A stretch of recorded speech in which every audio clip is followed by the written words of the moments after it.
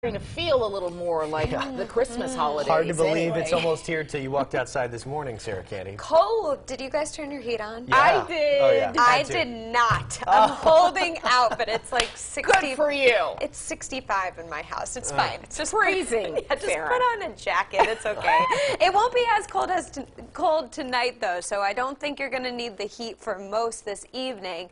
Seeing a few clouds right now in Gadsden, and that's going to be why our temperatures don't fall as far tonight. The cloud cover going to keep us a little bit more warm as we wake up tomorrow morning. So 65 degrees right now, dry air in place, and that'll keep all the rain away from us for the next 24 to 48 hours, but it is going to be on the way soon. So 64 right now in Jasper, as well as Ashville, 66 in Alabaster and Clanton. We're in the 70s still in West Alabama, Tuscaloosa, and Moundville, 67 in Fayette. So nice warm up throughout the day today, but our temperatures are going to be falling overnight tonight. Notice by tomorrow morning, though, we are not hitting the 30s. We're going to be in the upper 40s, low 50s. That cloud cover is going to do wonders to help keep us just a bit warmer for tomorrow. You'll see the cloud cover on satellite, and I want to show you what's going on in the Pacific right now because it is going to impact us. This is Hurricane Willa, right now a Category 4 hurricane that's going to impact Mexico. Now, why is that going to do anything to us?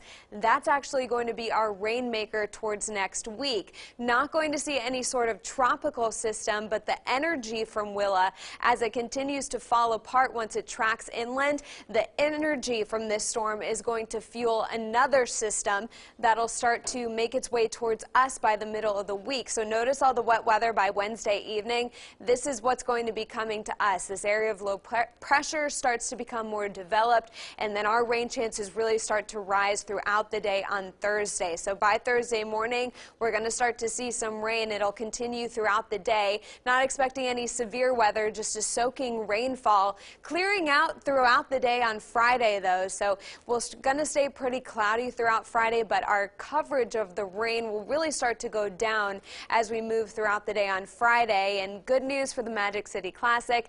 Does look like we will be clearing out by the weekend with just a stray shower possible on Saturday and even better weather for Sunday. So rainfall totals will be anywhere from one to two inches. The areas in purple likely going to see a little bit more wet weather. The farther south you go, tapping into more moisture, so that's where the rainfall totals will be the highest. Everyone else could see between one and one and a half inches over the course of Thursday and Friday. So looking at the Storm Team seven day forecast, we're going to warm up a bit each afternoon over the next couple days, staying mostly sunny to partly cloudy through Wednesday. Then the rain will arrive throughout the morning on Thursday, continuing throughout the day, on and off possibly through about Friday morning, where we'll gradually start to clear out.